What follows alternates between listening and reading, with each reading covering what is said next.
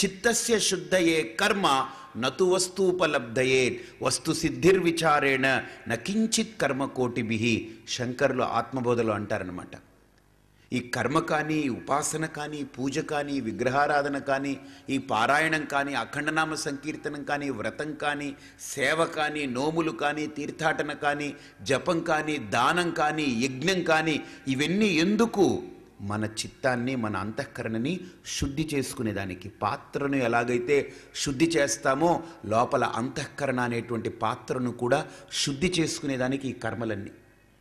అంతే అంతవరకే. బట్ ఒక్కసారి ఆ పాత్ర శుద్ధి అయితే అందులో జ్ఞానాన్ని మనం ధరించవచ్చు. కదా? అందుకనే చూడండి గర్భశుద్ధి అవుతుంది ప్రతి స్త్రీకి. గర్భశుద్ధి అయిపోయి మూడు రోజులు ఆ రజస్ అంతా కూడా బయటికి వెళ్ళిపోతుంది.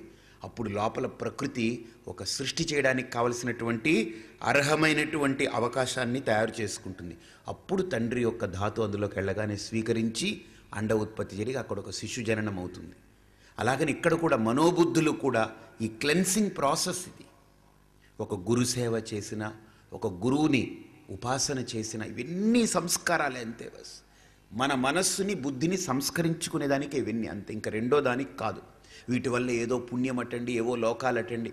అవన్నీ కావాలనుకుని చేస్తే వస్తాయి కానీ క్షీణే పుణ్యే మర్త్యలోకం విశంతి. అల్పమైనటువంటి అంశాలతో ముడిపెట్టుకుని వాటితో ఉంటే మనం సాధన ముందుకెళ్ళదు. మనం సాధకులం కాలేం. సాధకుడైనటువంటి వాడి యొక్క లక్ష్యం మోక్షమే రెండోది లేదు. నాకు మోక్షమే కావాలి. మోక్షం అంటే సత్యాన్ని తెలుసుకోవడమే మోక్షం. యథార్థాన్ని గుర్తించడమే మోక్షం. పదార్థాన్ని దాటి యథార్థం దగ్గరకు చేరుకోవడమే మోక్షం అంటే.